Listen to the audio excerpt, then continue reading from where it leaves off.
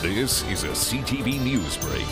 The Calgary's new rapids on the Bow River need more warning signs. I'm Jocelyn Laidlaw. On our news at 5, Harvie Passage was built to replace the old dangerous weir, but the new rapids have already proved to be deadly for those who are not experienced paddlers. We'll have the latest on the debate raging at City Hall. And welcome home, Elan.